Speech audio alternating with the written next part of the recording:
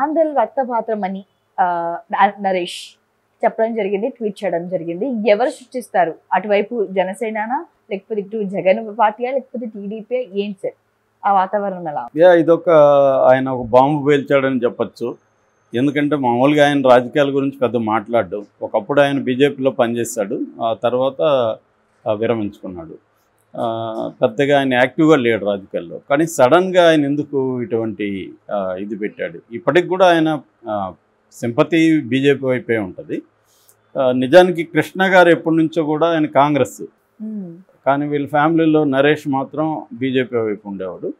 ఆ తర్వాత ఇంకా ఆయన రకరకాల వివాదాల్లో కూరుకుపోయాడు. ఒకటేమో మా సంఘం దానికి సంబంధించిన వివాదాలు రెండోది ఆయన వ్యక్తిగతంగా పవిత్రతో అఫేర్ కావచ్చు తర్వాత రమ్య రఘుపతి ఆమె ఆమెతో వివాదాలు ఇవన్నీ ఆ, సమసిపోయినాయి. మేబీ ఆయనకి వివాదాలు లేకపోతే బతకలేడు అనుకుంటా. సో ఒకసారి అలవాటు అయిపోయి కాంట్రవర్సీలు మీడియాలో లేకపోతే చాలామంది ఇప్పుడు రామ్ గోపాల్ వర్మ కూడా అంతే. మీడియాలో ఆయన కనబడకపోతే సంథింగ్ కోల్పోయినట్టు ఫీల్ అవుతారు. అందుకని వాళ్ళు ఏదో ఒక ట్వీట్ చేస్తారు. అలాగా ఈయన కూడా ఒక ట్వీట్ చేశాడు. ఈ ట్వీట్ ఏంటంటే there is high high there is a high high possibility of bloodshed before the transfer of power in AP in my belief అని పెట్టాడు. సో ఇది బిలీఫ్ అని చెప్తున్నాడు ఫస్ట్. బిలీఫ్ అని చెప్తూ ఐ హై పాసిబిలిటీ అన్నాడు. సో సో ఈ రెండు విషయాలు కన్ఫ్యూజింగ్గా ఉన్నాయి. ఇప్పుడు బిలీఫ్ అంటే ఏంటి? ఒక మామూలు విషయం కాదు కదా. ఆయన చెప్పింది ఏంది? ఒక రక్తపాతం జరుగుతుంది అని చెప్పాడు. ఆ రక్తపాతం జరిగేదానికి చాలా చాలా అవకాశం ఉంది. హై హై పాసిబిలిటీ ఉంది అన్నాడు ఒక హై కూడా కాదు. డబుల్ హై పెట్టాడు. సో డబుల్ హై పాసిబిలిటీ ఉన్న రక్తపాతం గురించి బిలీఫ్ అని చెప్తున్నాడు. సో నిజానికి ఇది చాలా ఇర్రెస్పాన్సిబుల్ ట్వీట్ అని చెప్పాలి. ఎందుకంటే నిజంగా నీ దగ్గర ఏమైనా ఇన్ఫర్మేషన్ ఉంటే దీన్ని నివారించాల్సిన కర్తవ్యం ఉంది. ఒకవేళ ఎవరన్నా రక్తపాతానికి ప్లాన్ చేస్తున్నారని మనకు తెలిస్తే మనం అది ఎలక్షన్ కమిషన్కి ఇవ్వాలి. అసలు బయట పెట్టకూడదు. దీనివల్ల ఇంకా గందరగోళం క్రియేట్ అవుతుంది. సీక్రెట్గా వెళ్ళి ఎలక్షన్ కమిషన్కి నీ దగ్గర ఉన్న ఇదిగో నా దగ్గర ఈ సాక్ష్యం ఉంది. పలానా వాళ్ళు ఫోన్లో మాట్లాడుకున్నారా? లేకపోతే నీకెవరన్నా సీక్రెట్గా చెప్పారా? ఇది వాళ్ళకి చెప్పాలి. ఒకవేళ నీకు చెప్పిన వాళ్ళ పేర్లు చెప్పలేకపోయినా ఇలా జరిగే అవకాశం ఉంది. మీరు జాగ్రత్తగా ఉండండి అని వాళ్ళకి చెప్పాలి. దానివల్ల రక్తపాతాన్ని నివారించడానికి ఆయన వంతు కృషి చేస్తాడు. అది కాకుండా నా బిలీఫ్ అని చెప్తూ దీన్ని పెట్టడం వల్ల ఆయన ఉద్దేశం ఏంటి? ఫస్ట్ ఆఫ్ ఆల్ ఎవరైనా కూడా రక్తపాతం జరగబోతుంది అని చెప్పడం వల్ల మరింత రక్తపాతం జరిగేదానికి ఈయన దోహదపడతాడు తప్ప దాన్ని ఆపడానికి కాదు. ఆపాలనుకున్నప్పుడు ఈయన ఎవరికి చెప్పాలో వాళ్ళకి చెప్పాలి. కొంతమంది ఏమో వాదించవచ్చు అంటే పబ్లిక్గా చెప్తే అందరూ జాగ్రత్తగా ఉంటారు. జాగ్రత్తగా ఉంటారేమో కానీ దానివల్ల భయాందోళన కూడా అవుతాయి. ఎవరు ఎవరిని నమ్మలేని పరిస్థితి. ఇప్పుడు దీని ద్వారా దీని ద్వారా ఏమవుతుందంటే కూటమి వాళ్ళేమో జగన్ సృష్టిస్తున్నాడు సృష్టించబోతున్నాడు రక్తపాతం అని వీళ్ళు అంటారు వీళ్ళేమో లేదు చంద్రబాబుకు ఓటం భయం పట్టుకునింది. చంద్రబాబే సృష్టిస్తాడు ఎందుకంటే ఆయనకి చివరి ఎన్నికలు. సో ఆయన ఏం చేయడానికన్నా రెడీగా ఉన్నాడు ఈయన అంటాడు. వీళ్ళే ఉంటారు మళ్ళీ. లాస్ట్ ఎన్నికల్లో బాబాయిని చంపారు. ఈసారి ఎవరిని చంపుతారు అనేది వీళ్ళు అంటారు. ఇలాగా ఆల్రెడీ ఇటువంటి ఒక వాతావరణం అక్కడ ఉంది. సో దాన్ని ఈయన పెంచి పోషిస్తున్నాడు. అయితే వేరే సోర్సెస్ కూడా ఏం చెప్తున్నారంటే ఏదో ఒక అంటే వినికిడిగా బయట ఏం చెప్తున్నారంటే ఏదో ఒక ఈసారి ఎక్స్ట్రీమ్స్ అక్కడ జరిగే అవకాశం ఉంది. అంటే వాతావరణం అలా ఉంది అనేది కొంతమంది చెప్తున్నారు. ఆ ఆ రకంగా చూసుకున్నప్పుడు ఈయనది కూడా ప్రెడిక్టబుల్ ఇది. బిలీఫ్ అని చెప్పాడు. అందుకనే బిలీఫ్ అని చెప్పాడు ఆయన. ఎక్కడ మళ్ళీ ఆయన పట్టుకుంటారని చెప్పి ఇది నా నమ్మకం అని చెప్పేశాడు కాబట్టి నేను నమ్మకానికి ఆధారాలు ఏమి ఉండవు ఉండాలని పనిలే నేను నమ్ముతున్నానని చెప్పచ్చు. సో ఓవరాల్ కానీ మనం ఆబ్జెక్టివ్గా చూసినప్పుడు ఈ కండిషన్ ఉందా? రక్తపాతం సృష్టించే కండిషన్ ఉందా అంటే నేను గతంలో కూడా ఒకసారి చేస్తూ దస్తగిరికి ప్రాబ్లం ఉందని చెప్పాను. ఎందుకంటే ఇప్పుడు మేజర్గా మనం కానీ ఓవరాల్గా ఎలక్షన్ చూస్తే ఎలక్షన్ క్యాంపెయిన్లలో ఒక ప్రధానమైన నెరేటివ్ తీసుకెళ్తూ ఉంటారు. ఇక్కడ తీసుకున్నప్పుడు మనకి రేవంత్ రెడ్డి ప్రధానమైన నెరేటివ్ ఏమంటే అహంకారానికి ఆత్మాభిమానానికి మధ్య పోరాటం అన్న ఒక స్లోగన్ని బలంగా తీసుకెళ్ళాడు ఆయన. అంటే కేసీఆర్కి అహంకారం ఉంది తెలంగాణ ప్రజలు ఆత్మగౌరవాన్ని తాకట్టు పెట్టకండి అహంకారాన్ని మనం ఎదిరిద్దాం. మనకి ఆకలితో అయినా ఉండగలం కానీ ఆత్మాభిమానాన్ని కోల్పోయి ఉండలేం అనే ఒక నెరేటివ్ని బలంగా తీసుకెళ్ళాడు.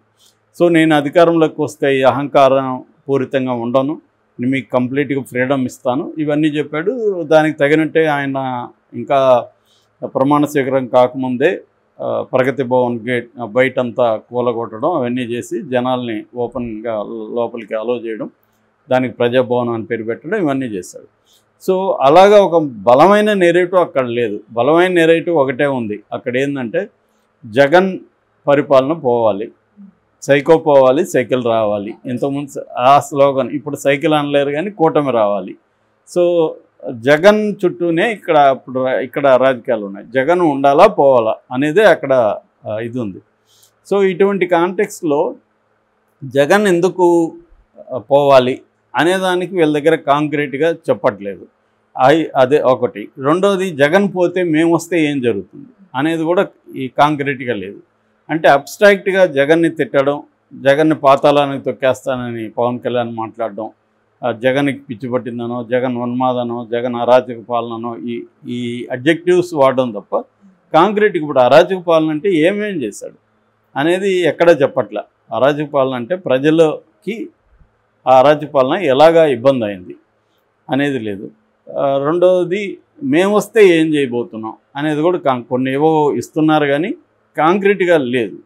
సో దానివల్ల ఏమవుతుందంటే ఒక నెరేటివ్ని తీసుకురావడానికి వైలెన్స్ నెరేటివ్ని బలంగా తీసుకెళ్తున్నారు. అంటే జగన్ వస్తే ఇంకా అరాచకాలు పెరిగిపోతాయి. సో రక్తపాతం సృష్టిస్తాడు జగన్. అనే చెప్తున్నారు దానికి నిన్న కూడా పిఠాపురంలో రాయలసీమ గ్యాంగులు అన్న ఒక వార్త బయటకు వదిలారు. అంటే రాయలసీమ వాళ్ళంతా రక్తపాతంలోనే ఉంటారు. సో వీళ్ళు ఎక్కడికి వచ్చినా కూడా రక్తపాతం సృష్టించడానికే వస్తారు అనే చెప్తున్నారు. ఎందుకంటే నేను కూడా రాయలసీమ కాకపోతే మాది చిత్తూరు జిల్లా. సో రాయలసీమ అంటే ప్రధానంగా వాళ్ళ ఉద్దేశం కడప కర్నూలు మెయిన్గా.